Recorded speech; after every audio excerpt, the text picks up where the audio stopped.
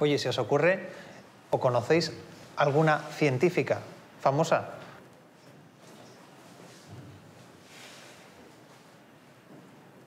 Eh, Marie Curie era una científica, pero no tuvo mucho nombre. ¿Alguna más?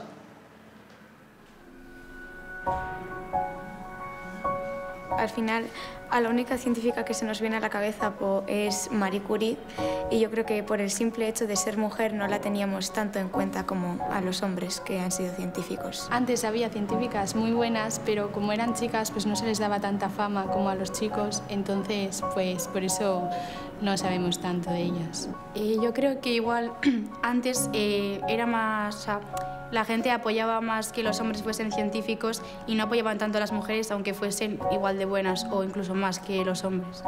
Antes las mujeres no podían estudiar porque la sociedad no lo permitía mm, por el simple hecho de ser chicas.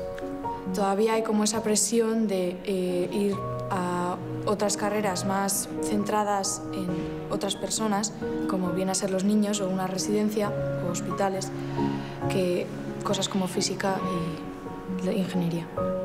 Yo creo que no hay una presión así como tal, solo que eh, antes había muchísimas menos mujeres que estudiaban esas carreras y ahora pues, va subiendo y seguirá subiendo hasta que esté igualado más o menos. Esa presión no la veo en casa, pero a veces sí que la he visto en la tele. Una chica que quería ir por, por ingeniería, pero su padre no la dejaba.